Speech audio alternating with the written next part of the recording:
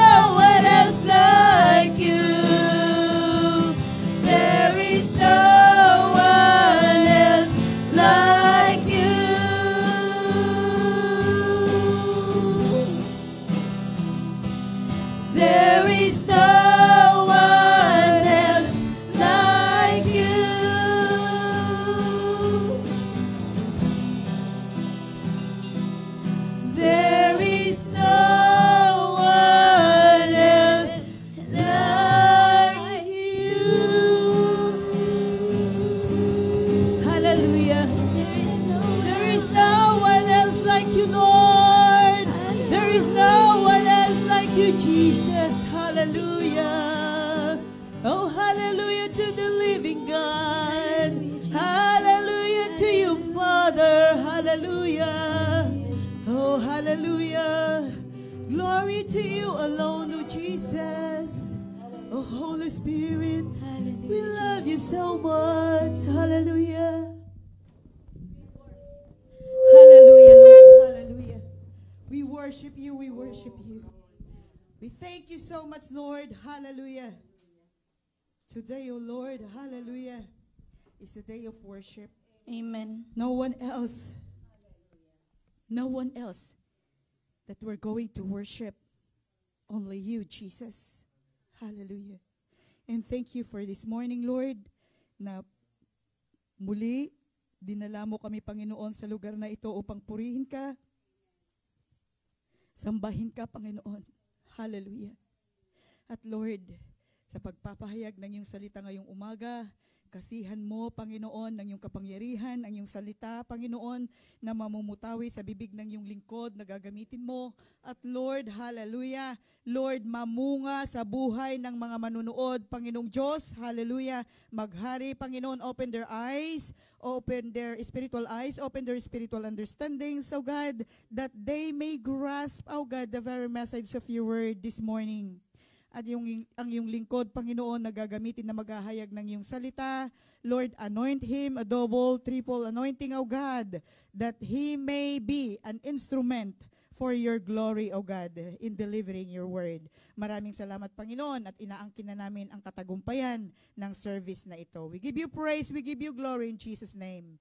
Amen. Hallelujah.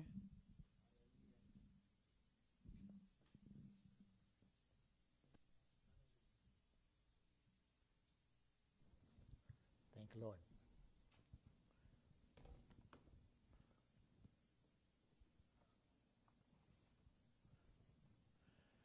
Hallelujah. Good morning, everyone. Praise God. How is everybody? Praise the Lord. Although that nobody answered. But anyway, God is good. God is good. God is in control. Hallelujah. Although that we still locked down. But again, no one can stop the Word of God. Amen. At tuloy-tuloy po na ibabahagi po natin ang ah, salita ng Diyos. Amen. God is good po. Uh, again, we are the Commission for Christ Fellowship. We are Full Gospel Church. We are located here in top of the hill, Daly City, California. And uh, uh, we would like to once we finish this pandemic or being locked down, we are invited invited you to come, join us, experience miracles, healing, deliverance in this ministry. Maganda po ang ginagawa ng ating Panginoon sa ating kalagitnaan. Amen. So, encourage you join us, worship with us as soon as we finish this lockdown. But anyway, God's still good. God is still in control. Although that we have pandemic going on still, but God, the love of God is still in the midst of us. Hallelujah. Praise God.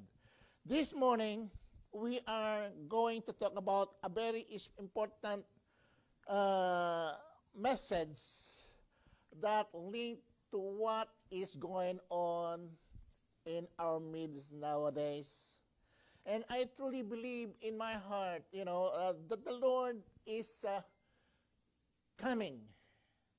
You know, as as I read the Word of God, all the message that is mentioned in the book of Matthew chapter 24 is all seen today. And uh, hindi, siguro hindi po kaila sa bawat isa po sa atin na ang nakikita po natin, ang ating pong nararanasan sa ating kapaligiran ay nagpapatunay lang na ang Diyos ay maaring ma- malapit na bumalik. I would not say maari sapagkat we have assurance because it is prophesied by God. It is mentioned in the book of uh, Matthew chapter 24. And this is today, we are going to talk about the most important topic that we are going to discuss this morning is about sign of the end times. Amen. Sign of the end times. And again, I say that this is very important sapagkat nakikita po natin all the things that going on ay nagpapatunay lang na bumubuo at nagbibigay ng katuparan, nagbibigay ng katotohanan ayon sa hinula sa aklat ng Biblia na ang ating Panginoon ay muling babalik. And therefore, we have those signs that God given unto us. Nobody knows when is the exact time. Although there's a lot of religious group that they pretending that day and the time when the when the Jesus Christ when Jesus Christ coming back. But again, uh, wala pong nakasunod at wala pong naging uh, katuparan yung kanilang mga hula. But again, and the, the Bible says very clear that no one knows the time is coming. Even the Son of Man doesn't know that. Even the angel of God doesn't know. Only the God the Father knows kung kailan nga ba tunay na babalik ang ating Panginoon. But God give us the sign, palatandaan na ibinigay po sa atin para po in that case, na, sa, sa ganun pong pagkakataon na tayo po ay aware of what going on sa mga darating ng panahon. At hindi po tayo maging puzzled o hindi po tayo maging question mark sa mga nangyayari sa ating kapal, kapaligiran. And that's why I would like you to open our Bible, open our Bible in the book of Matthew, chapter 16, and we're going to read on the verse 2 and 3. And this is Jesus speaking about the sign of his coming. Okay? In Matthew chapter 16, verse 2 and 3 said like this He, he's talking about Jesus, answered and said unto them, He's talking to the Pharisees and the Sadducees. Okay? So when it's evening, ye say it will be fair weather, for the sky is red, and in the morning it will be foul weather today, for the sky is red and lowering. Hallelujah.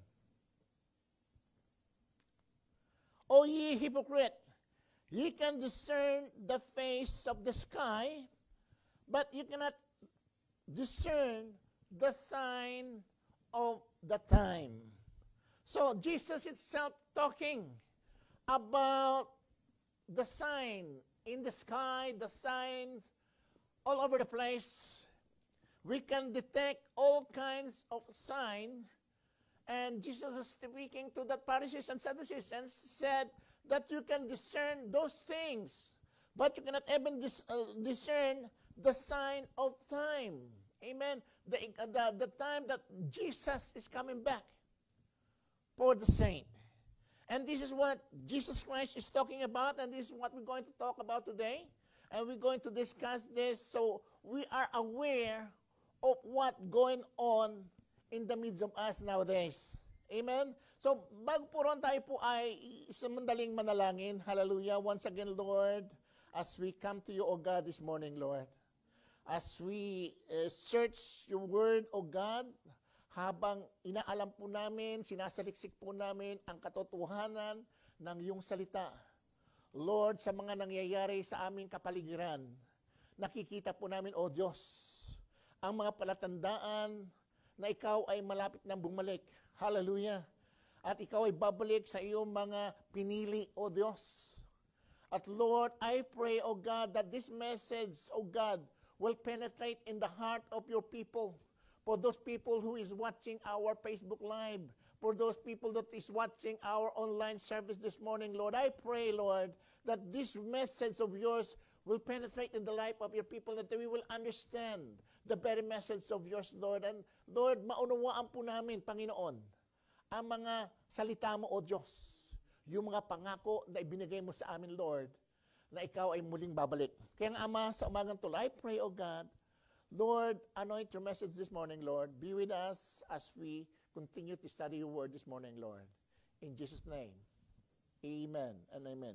So, what are those signs that God given us? Why, why it is given to men about the sign? You know, uh, I remember when I, used to do a lot of traveling, you know, I used to, I, I enjoy long driving.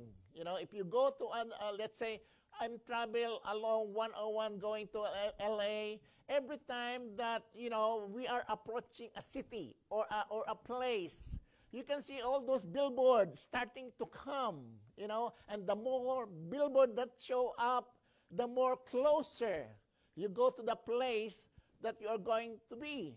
Amen. And those are things that they says that those billboard telling you that you are approaching to a place or like a place that you want to be, you know, and those are billboard that you can see on the freeway. So it is important for us to have those signs given unto us. You know, na ah, ang sabi na ating Panginoon, nahuhulaan natin yung mga bagay na nakikita natin sa ating kapaligiran. Maaring may mga sinyales sa ating bansa, sa bansang Pilipinas, sabi natin, pag ang, ang ulap ay dumilim, for sure it's going to rain. Hindi ho ba? At yan po yung mga palatandaan na ating ginagawa. And one time, I remember my brother was telling me, he was telling me this story. He, he was, during his elementary grade, he, he, the teacher asked him to draw uh, uh, a picture. And he said he drew red on, on, the, on the sky. And the teacher said, why you draw red on the sky? The sky is blue. And he, but they realized that every, you know, at the end of the day, in the afternoon, you know, that's what they said then. Sometimes the, uh, the sky is color red. So that's the way it is. Those are signs that given unto us for us to understand that there is something going on. Amen. And that is why it is important for us to know what's going on around us. And as I says, nowadays we have so many signs that we saw. If we are familiar on the Word of God, if we are familiar on the Bible about the Word of God, of what God telling us, we will we would say that the God is coming very soon because oh, we see all those kinds of signs. Jesus, as there are natural signs in the physical world, amen, such as dark clouds before a storm, amen. Sometimes we see those dark clouds and we know it's going to rain. There are also signs of the time found in the Word of God. Hallelujah. Praise God. For example, Jesus said, before the Son of Man return, there would be sign in the sun and moon on the, and the stars. That's why I said in Luke chapter 21, verse 25 to 27. And he said this, And there shall be sign in the sun and in the moon and in the stars, and upon the earth distress of nation with perplexity, the sea and the waves roaring. So meron pong ipinakita mga palatandaan. Amen? Ano yung mga palatandaan na pinakita ron? Ang sabi ron, meron mga palatandaan makikita natin sa mga araw, sa buwan. Hallelujah. Amen? May mga palatandaan na gustong ipahiwatig ang Diyos sa ating buhay. Amen. That's why on verse 26 said, Men's heart failing, failing them for fears and for look and for looking after those things which are coming on the earth, for the power of heaven shall be shaken. Hallelujah. There will be shaking time. Hallelujah. Verse 27 said, And then shall they see the Son of Man coming in the cloud with power and great glory. Praise the Lord. All those signs that God shows up. And I, I, I, I remember all those signs that we saw. You know, when I was young, I first time I remember when I was young, I think I was about about only uh, uh, 13 years old when the first time I saw that comet. You know, those are one of the signs that happen. Comet and the red moon comes. It's already appeared. Those are signs that God given to us. Amen. And we saw that in our own two eyes. And, uh, you know, I remember again, the comet, the first time I saw the comet is way back home in the Philippines. And the second time I saw the comet here in the United States, it just lately, about, I think it's about, if I'm not mistaken, about five years ago, we up, they appeared the comet, comet, you know, and those are signs. And not only that, there's also a lot of signs that coming At shown here, wars, rumors of wars. The Bible says there will be uh, there will be uh, uh, yung yung yung yung takot na maghahari sa buhay ng mga tao. Amen. Those are signs that God given unto us. Wars, rumors of wars, kaguluhan, katakutan ng tao. Uh, again, floods, pains. Bible says that there will be uh, signs, uh, wave roaring. Hallelujah. Amen. There will be wave roaring. And those are the one of the signs that God given unto us. Hallelujah. Amen. There's more. Those are floods. Man, remember this? We see this in our own eyes. Those uh, uh, tsunami. Amen. Tsunami that comes on us. Those things are signs of sorrows that happen in the life of humanity. Hallelujah. And that's why we need to be aware of what's going on nowadays. And I believe in my heart, because I see this in my own two eyes, that all these signs is happening right now. Nangyari po ito at nakita po natin ng ating, mga dala, ng ating dalawang mata. And I believe that God revealed these things for us to be aware of what going on in our life. Okay? So, ito po yung mga palatandaan na binigay sa atin ng Diyos. Na nakita natin ng ating mga dalawang mata sa ating kapanahunan. At ito po yung tinutukoy dito na, pala, uh, na signs of the time when Jesus Christ is coming back. So there's also signs of time in the book of James. Let's look about in the book of James, James chapter 5, verse 1 to 3. And it said like this Go to now, ye rich men, weep and hope for your miseries that shall come on you. Amen. Your riches are corrupted, and your garment are moth eaten. Verse 3 said, Your gold and silver is crunk, and the rust of them shall be wit- witness against you, and shall eat your flesh as it were fire. Ye have heaped treasure together for the last days. Ano po yung tinutukoy dito ng Biblia? A lot of people are focusing on our wealth. But ang sabi po ng Biblia, darating ang panahon na itong mga kayamanan nito ay maging walang saysay sa pagbabalik ng ating Panginoon. And most of people are focusing nowadays on the wealth. Nakakalungkot nga lang pong basahin sapagkat ang nakikita po natin, ang mga tao ay nakatuon doon sa takbo ng sanlibutan. They spend their whole time working hard. You know, some people here, mostly here in the United States, that people work three jobs, two jobs, and they have no more time for them to know what is the Word of God. You know, uh, nakakalungkot po na sabihin na naka, even Sunday, they're supposed to be in their church, they are in the church. Hindi po nila nakukuhang magpunta sa church sapagkat they are on, on Saturday night, they work hard and they're tired early in the morning on Sunday. They cannot afford to go to church. And that is bad things. And that's why the Bible says, those wealth that we have, darating ang panahon na ang mga kayamanan nito ay maging walang saysay sa ating buhay. Amen? Those riches are corrupted and your garment are moth-eaten. Ito yung mga kayamanan na ating inimpok na maaring mabubulok.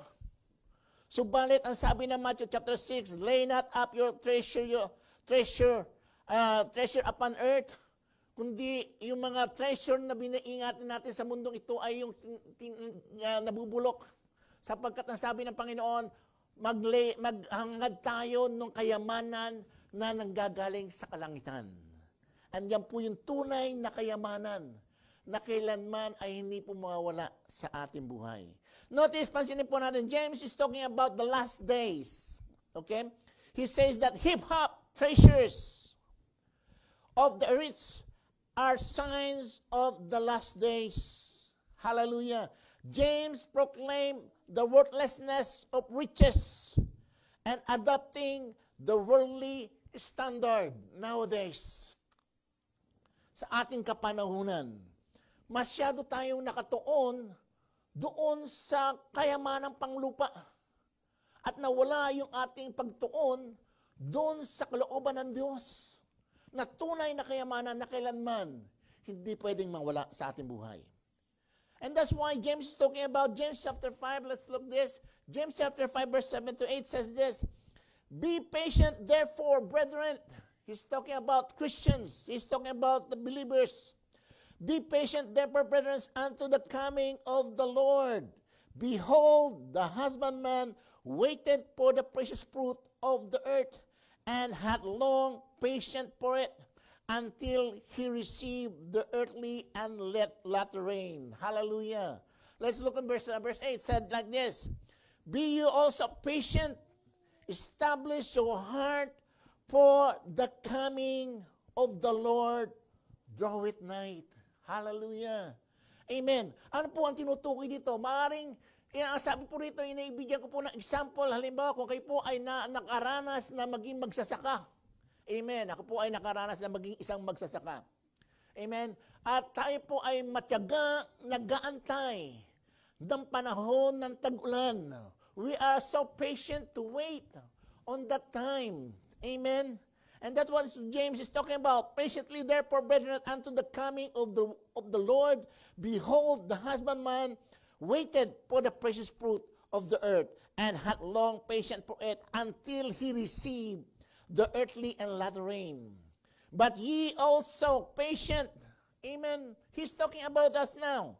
Maging pasensya, maging pasensyoso tayo. Wait, uh, patiently waiting. Establish your heart habang tayo ay nagaantay. We need to establish our heart. We need to establish our relationship to the coming of the Lord. Draw it nigh. Amen. Huwag po nating aksayain yung mga natitira pang buhay na ating natitira sa atin sapagkat the Lord is coming very soon. Amen. Huwag po natin, the Bible says, occupy till I come. Meaning, huwag po nating sayangin ang ating panahon sa mga bagay na walang saysay. Amen. Gawin nating makabuluhan yung mga natitira nating buhay for us to serve Him, to know Him. Because Jesus for sure is coming. And no doubt because the things that going on around us, we see all those signs, palatandaan. And that's why Jesus Christ give all those signs for us to know that His, his, his coming is draw nigh, very close. He's just right there at the door. Amen. So that is what James is talking about. We need to be patiently waited for the right time. Don't waste any time that left behind in our life na mapariwara lamang at walang saysay na magawa natin sa mga bagay na walang kabuluhan. Amen? Occupy till I come. And that is what the Bible is telling us. Another signs in 2 Timothy chapter 3. I would like I will read a lot of signs today. 2 Timothy chapter 3, we're going to read verse 1 and said like this. This knows also that in the last days, perilous time shall come. Ano bibig sabihin nito? Tandaan po natin, mababatbat ng kahirapan sa mga huling araw. Isa po sa palatandaan na ibinigay ng ating Panginoon. And we see this. Nakikita po natin, nowadays, people are being laid off for a job. People who've been working on the hotel has been so long waiting for them to op- reopening of that hotel, but it seems like it will never happen. Hallelujah. Hindi pa mangyayari yan until now. They're still, you know, depending on the uh, the help of the government. Praise God for those help of the government. Praise God for that EDD. Hallelujah. At uh, uh, malaking bagay po na naitutulong po sa atin. But again, again, I hear the news in the Philippines that the the the, the uh, budget is almost gone. Hallelujah. And that's the sad things. Yes, sabi nga, when, one time we're talking about here, we are talking here and with, with the board of elder here, while we're talking here, we discuss about the economy. Nowadays, you know, America still have money. You know, America is a rich country, but still, as we continue, as we go along with this pandemic going on, one of these days, this riches, one of these days, will, will, will run out. It will run out. Amen? And that's why God is telling us we need to be prepared. Amen? Those things, gaano man karami ito, it will completely gone. Hallelujah. Praise God. So, you notice that expressions last days is used several times in the New Testament by different writers. Amen.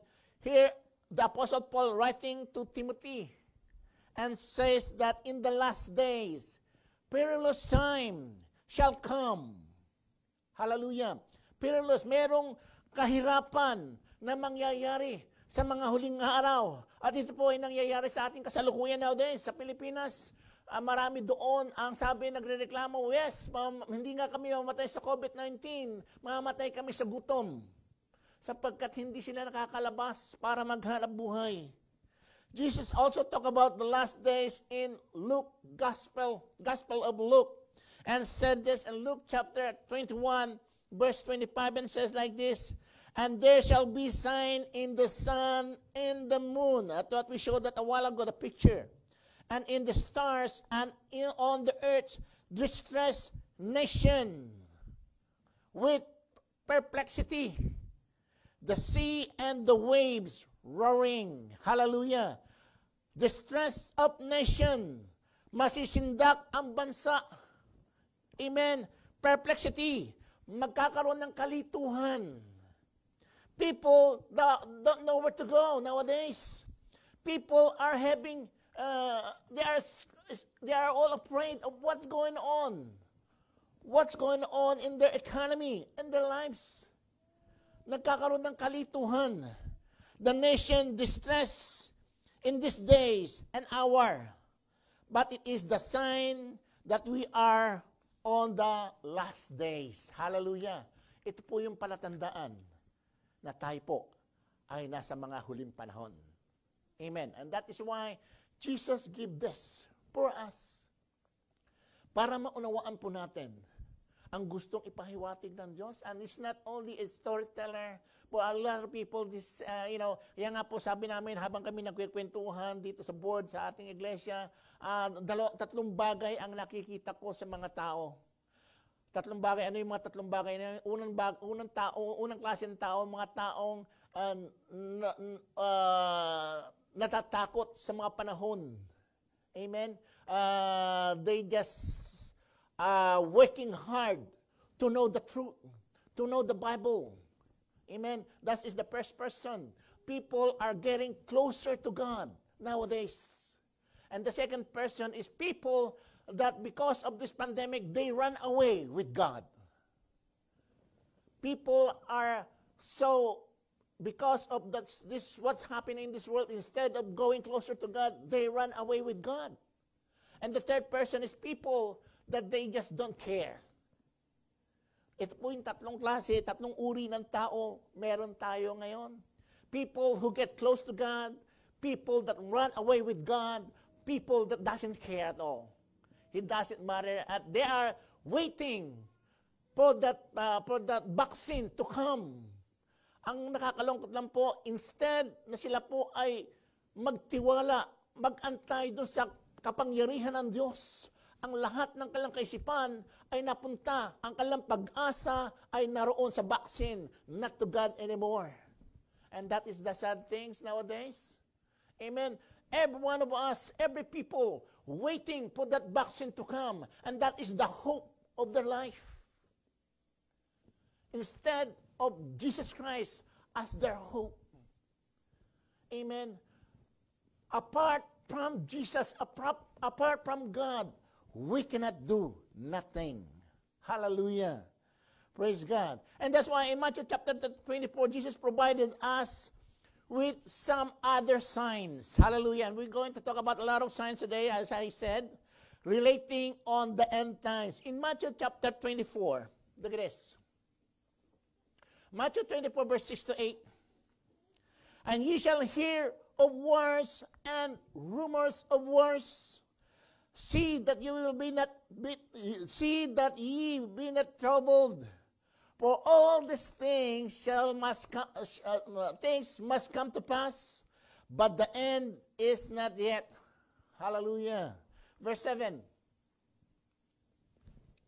For nation shall rise against nation, and kingdom against kingdom, and there shall be famine and pestilence and earthquake in diver place. Verse 8. All these things are the beginning of sorrows. Praise God. And we know that going on. Wars, rumors of wars, they are all over the place. Wars, katatapos lang po ng labanan sa ating bansa, sa bansang Pilipinas. Amen? There are na- nations against nations. Kapwa Pilipino, sila-sila mismo nagpapatayan. Those are signs that God given to us. Well, however, you look at these signs, you can readily see that His coming is drawn nigh. That coming of the Lord is here. He just right there by the door. Let's continue reading in Matthew 24. Hallelujah. Matthew 24, verse 33. I would like to read this. Yes, it's not it's not on my my my um, computer.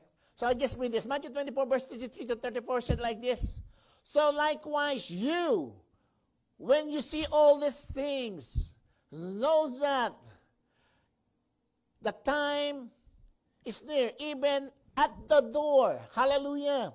Likewise, ye, you see these things. Kung makikita natin ang mga bagay na ito, Jesus Christ is right there by the door. That was the Bible says. Verse 34 said, Verily I say to you, this generation shall not pass till these things be fulfilled. Hallelujah. When Jesus said that this generation, he was talking about the generation that will be on the earth where these things come to pass. Hallelujah. So these things knows that the time of Jesus return is near. Amen. But there will be scoffers. Meron pong mga manlilibak in the days who said, it hasn't happened.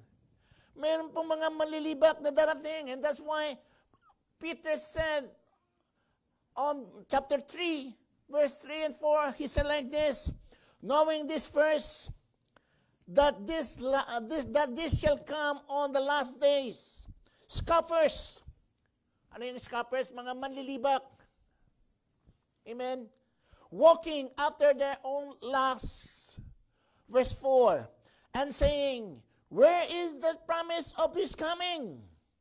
For since the Father fell asleep, all things continue as they were from the beginning of the creation. Asan yung sinasabi mong muling pagbabalik? And those are the scoffers that mentioned here in the book of Peter. But there were still folks who walk after their own lusts, as you say. Where are those promises of His coming? Well, it's certainly those people are not paying attention on the sign. Amen. Those people doesn't read the Bible probably. That's why they doesn't know. For every signs point to the coming of Jesus. Hallelujah. Paul goes on describe what many people would be like in the last days. Meron pong binanggit dito si Apostle Pablo na mga pangyayari na mangyayari during sa mga huling araw. In 2 Timothy chapter 3, 1 to 5, and said like this, This knows also that in the last days, perilous time shall come. Amen. Mababatbat ng kahirapan sa mga huling araw. Proud, blasphemers, disobedience to their parents, unthankful, unholy. Those things are going on nowadays.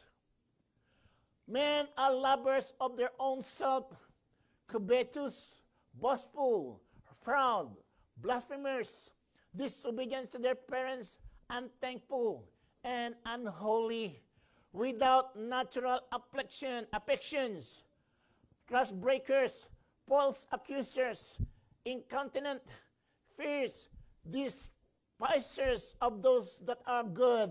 Hallelujah.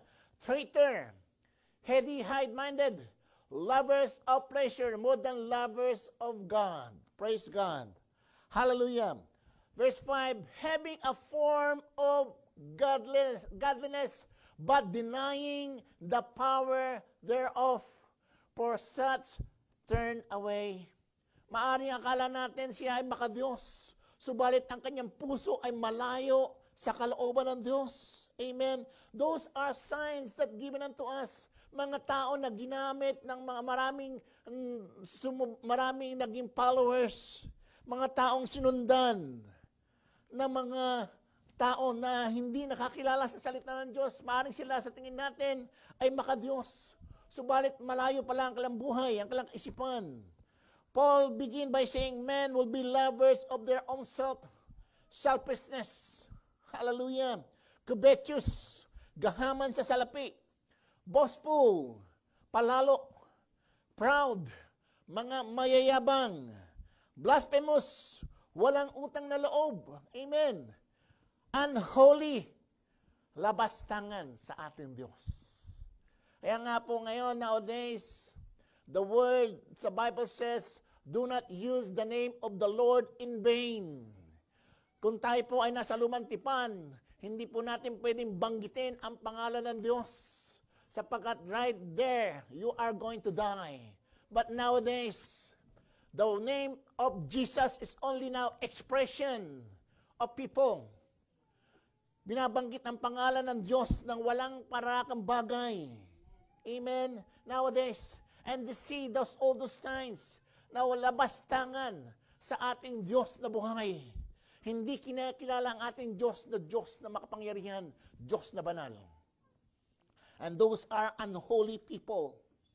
Youth problem. Sometimes they are parent problem because parents have not properly trained their children.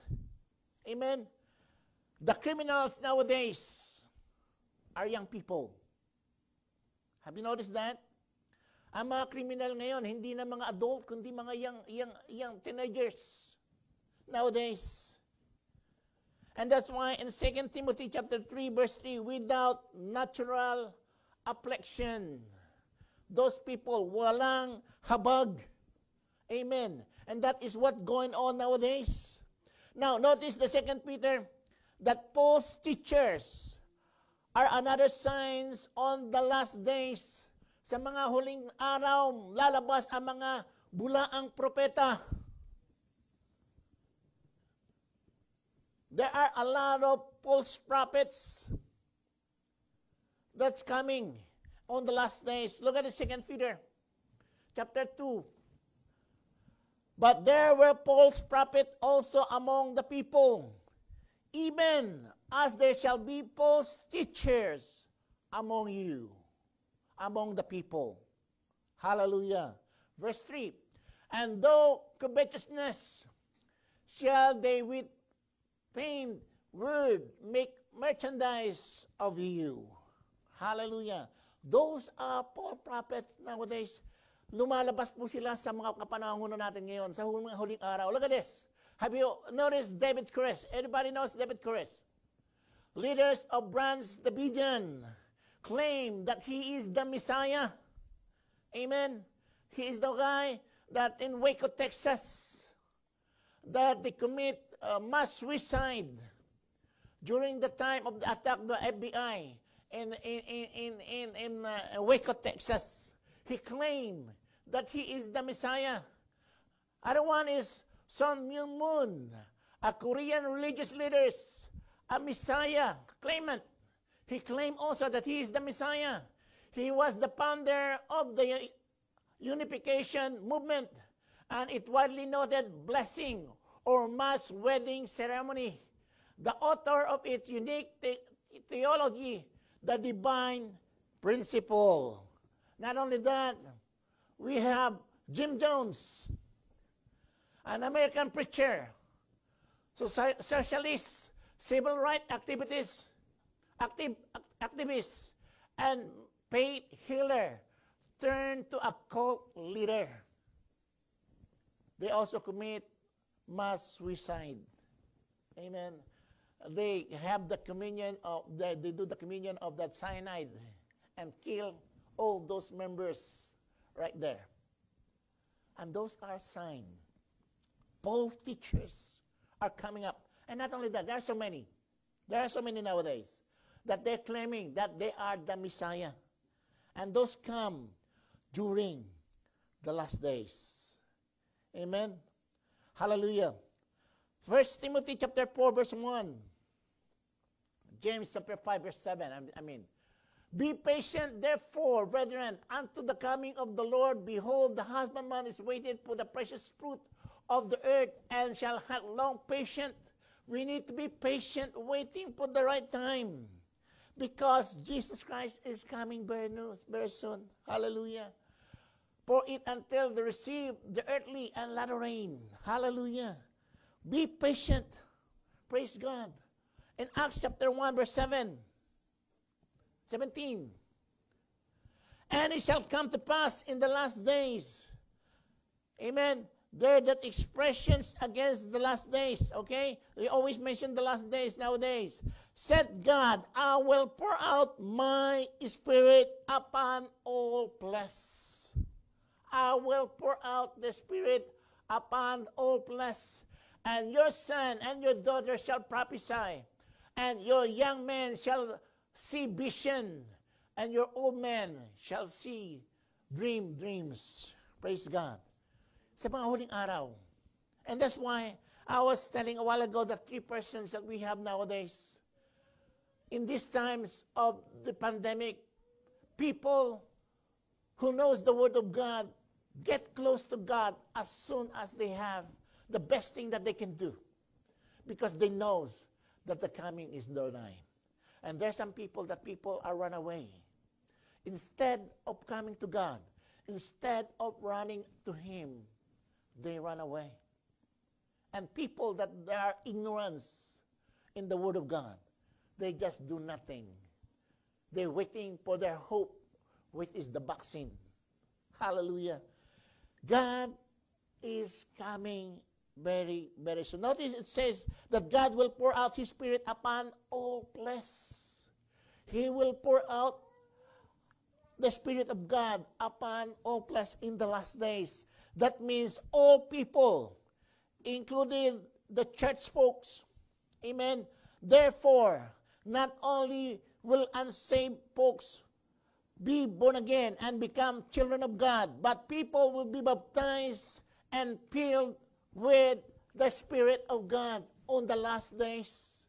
Bakit po? I gustong iparanas ng Diyos yung kanyang kapangyarihan sa mga huling araw.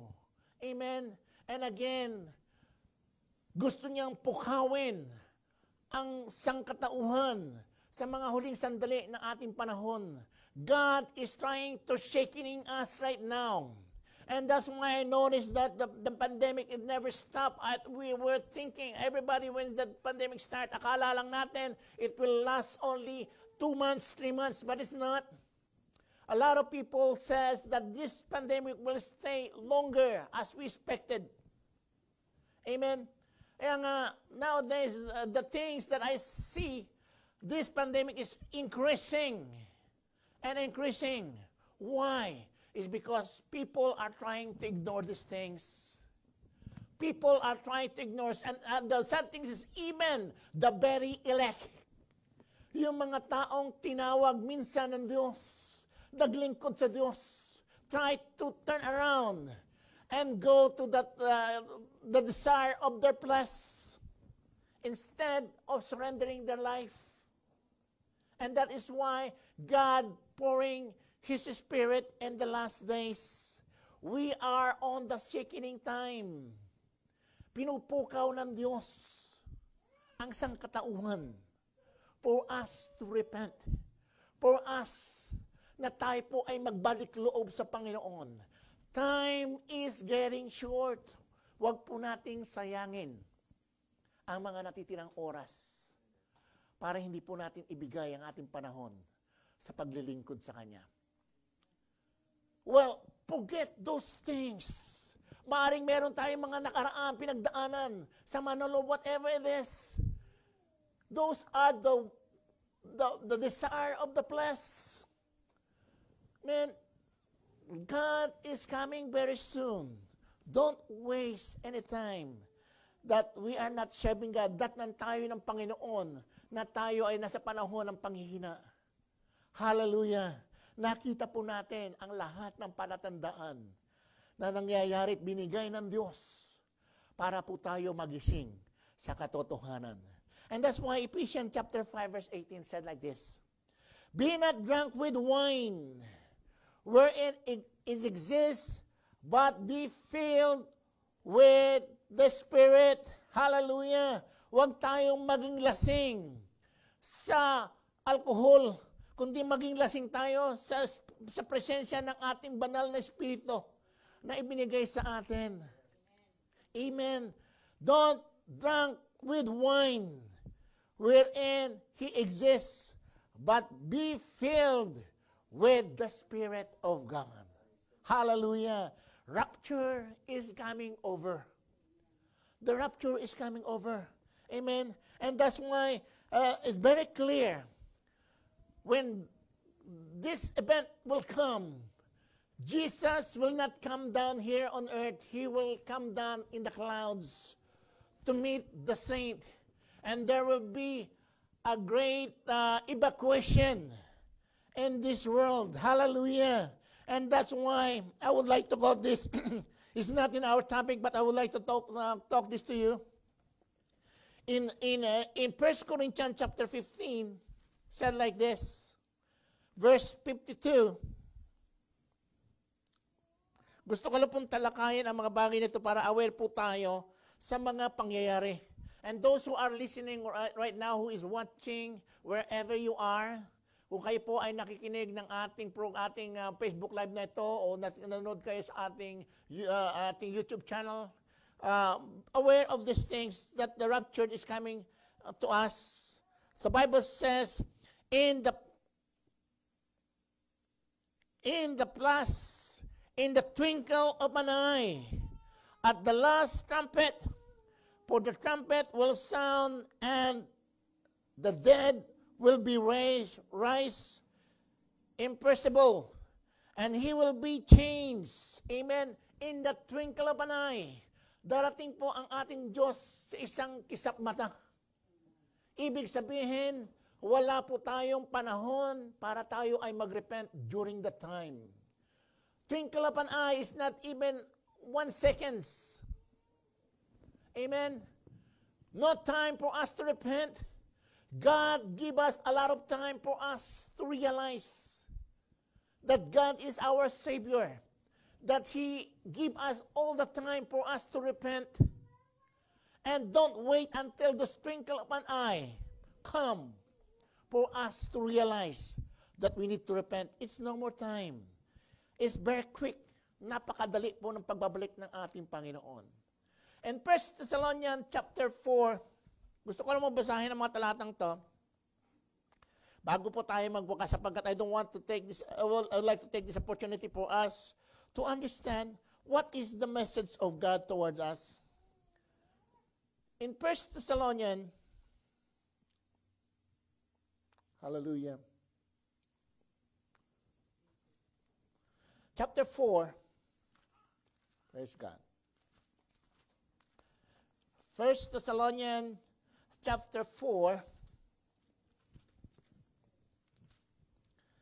verse uh, 16 to 17. Ang sabi po roon, For the Lord himself will come down from heaven with a loud command, with the voice of the archangel, and with the trumpet call of God, and the dead in Christ will rise first. After that, we are still alive. After that, who are still alive are left will be caught up together in with them in the clouds to meet the Lord in the air. So we'll be with the Lord forever. Amen. There will be great evacuation during that time. Hallelujah. And that's why God is preparing us. The Lord is coming soon. And after that, for those who were left behind, will experience the seven years tribulation period, which is the wrath of God.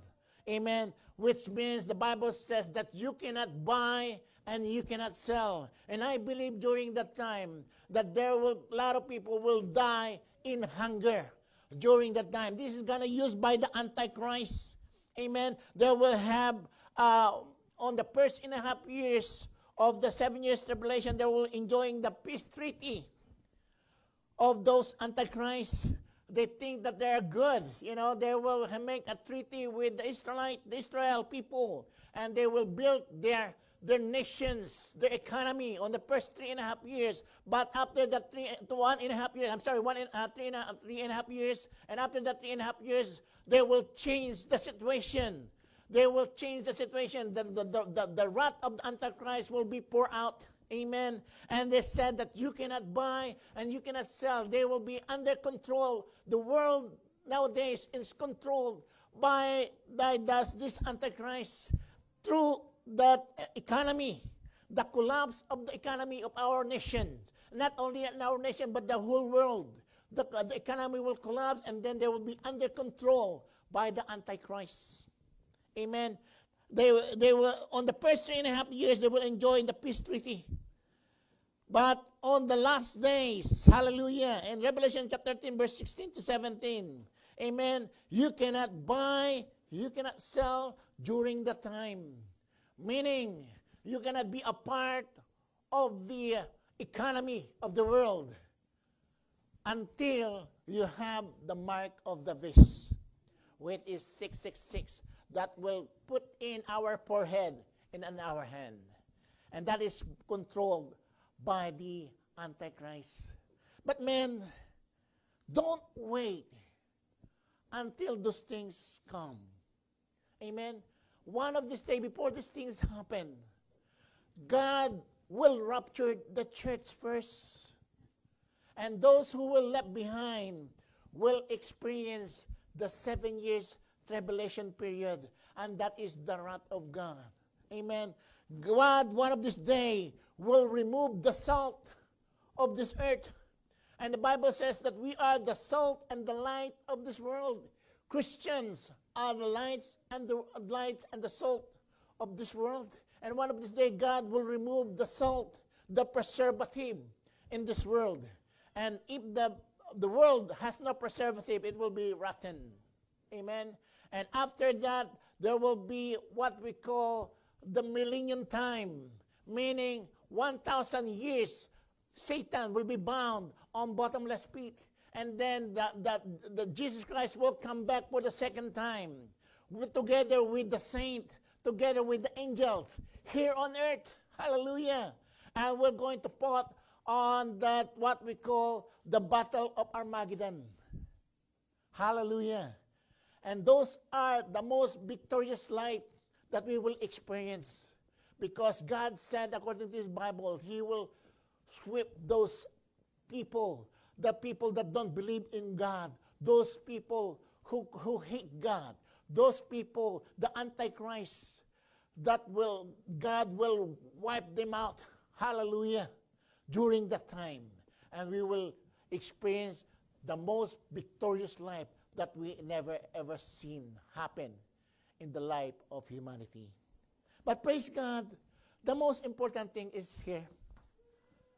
Don't wait until those time happen in our life. Huwag na po nating antayin na yung panahon na yun ay mangyari sa ating kapanahunan.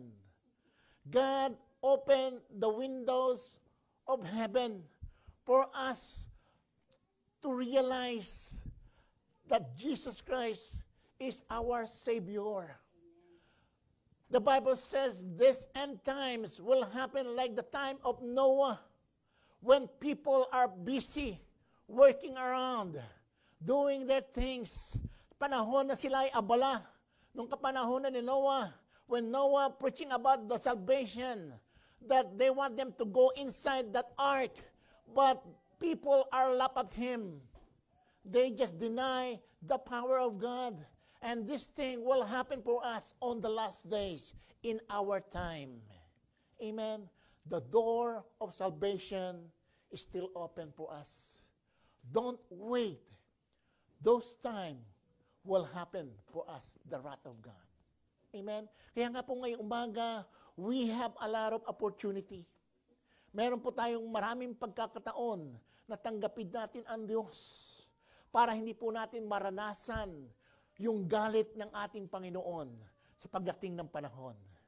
If you want to receive Jesus Christ this morning, kung gusto po nating tanggapin, tayo po ay makasama doon sa tinatawag na rapture, the, the coming of Christ to, to evacuate us in this place. And we will never experience the seven years tribulation period. It's very simple. The Bible says, I am the way, the truth, and the life. Amen. Hindi po sinabing, I am one of the many ways. Hindi po yon. He is the only way. Jesus is the only way. The truth and the life. No one comes to the Father except through Him. Si Jesus lamang po ang daan. Baliban po roon, wala na pong ibang daan. Amen. Jesus is the only way. The Bible says, John 3.16, For God so loved the world. Mahal po tayo ng Panginoon. Minahal tayo ng Diyos. That He even give His life. He died on the cross for us to be saved. Ibinigay niya yung kanyang kaisa-isang buhay, ang bugtong na anak ng ating Diyos, para po tayo magkaroon ng kaligtasan. He died on the cross for us because He loved us so much. That whosoever believe on Him, sino man ang manampalataya sa Kanya, ay hindi mapahamak, kundi magkaroon ng buhay na walang hanggan. If you want to experience those life, the everlasting life that God has promised, gusto ko po kayong i-lead sa maiksing panalangin. The salvation, make it simple. Hindi po ginawang very complicated ang kaligtasan ng ating, ng ating buhay. It's very simple. The Bible says, if you confess with your mouth that Jesus Christ is Lord, you will be saved. If you confess with your mouth, kung tatanggipin natin si Jesus bilang Diyos at sariling tagapagligtas ng ating buhay, tayo po ay maka, maliligtas. Mararanasan po natin yung buhay na walang hanggan. So lahat po ng mga nanonood sa mga oras na ito, if you are watching right now, this uh, message this morning, I would like you to bow down with me, follow along with a simple prayer. Sa isang maiksing panalangin na ating pong babanggitin, if, if you follow this with your heart, sa dinatanggap natin sa Jesus bilang Diyos at sariling tagapagligtas, mararanasan right on the bare moment, your name will be written in the book of life. Hallelujah. Tayo po ay yumuko. Panginoong Yesus, sa ubagang to, isinusuko ko ang aking sarili. I acknowledge, wala po akong magagawa sa aking buhay maliban sa iyo. Kaya ngayong umaga, lumalapit po ako sa iyo, humihingi ng kapatawaran. Patawarin mo ko sa lahat ng aking kasalanan. Mula sa aking pagkabata hanggang sa kasulukuyan. Tinatanggap kita, Panginoong Hesus, bilang Diyos at sariling takpagligtas ng aking buhay. Manahan ka sa aking puso. Ikaw ang kumontrol ng aking buhay. Ibinibigay ko ang aking sarili sa iyo bilang Diyos at sariling takpagligtas ng aking buhay. Tinatanggap kita bilang aking Panginoon ng aking buhay. Sa pangalan ni Jesus. Sa pangalan ni Jesus. Kung kayo po ay sumunod sa maiksing panalangin na binigay po natin with your heart, you really mean it in your heart, your name is written in the book of life. And you will never experience the wrath of God. That you have the assurance that one of this day, you are going back to our Creator. Hallelujah. Hallelujah. Marami pong salamat ngayong gabi, ngayong umaga. As we close our service this morning, I would like to pray, Panginoon, sa umagang to Panginoon, doon sa mga sumunod, ah, nananalangin, sa maiksing panalangin na ginawa po natin, Lord, I pray, Lord, that your hands will be upon them, the hands of protections, Lord, that we he will they will experience the love of God, the miracles, the salvations over the life, Lord. Kasama na puroon yung kagalingan, kaginahawahan, abundance life that, Lord, that you have promised unto us, Lord. Maranasan po namin, O Diyos ang mga bagay nito, Lord. Hallelujah. Lord, I pray, O God, for those people that received the Lord this morning, Lord, selyuhan mo ng banal mong dugo, O Diyos, ang kanilang pagtanggap, ang kanilang kaligtasan, Panginoon. And I pray, Lord God, na sila po ay uhawin mo sa iyong salita, hanapin ang iyong mukha, O Diyos. Ibigay ang kanilang buhay, Panginoon, maranasan ang tunay na kaligtasan sa kanilang buhay. Lord, hallelujah. Salamat po, Panginoon. I pray, O God, sa mga may sakit karamdaman, O Diyos, sa lahat ng nanonood, may mga sakit karamdaman sa inyong mga bahay, sa inyong mga tahanan, meron man kayong mga problema o maaari ito sa pananalapi, sa anumang, dako, sa anumang sitwasyon ng ating buhay. The Lord is not limited with a distance. He can penetrate to your screen whatever, wherever you are, ang kahimalaan ng Diyos ay dadaloy wherever you are, saan man kayo daroon. Panginoon, sa pangalan ni Jesus, I as lay hands my hands for those people. Panginoon, maaaring sila ay may sakit karamdaman. Maaaring sila, Lord, ay may mga problema sa kanilang pananalapi, anuman ang kanilang sitwasyon sa mga oras nito, Panginoon. I pray, Lord, for those people, O God, who receive you, Panginoon, at sa lahat ng mga taong nananampalataya sa iyo at nagtitiwala sa iyo, Panginoon. I pray as I lay hands, Lord God, ipadalay mo, I Diyos, ang himala ng kagalingan sa buhay ng iyong mga anak, Lord. Itantay mo, Panginoon, ang iyong mahabat na pagpalang kamay, ipadalay mo, O Diyos, ang kaginhawahan, ang himala ng kagalingan, himala ng abundance, Lord, anumang sitwasyon ng kanilang buhay, Lord, that you are going to meet them, Lord. Lord, this is our prayer. In Jesus' name, I pray. Amen and amen. Magandang umaga po sa inyong lahat.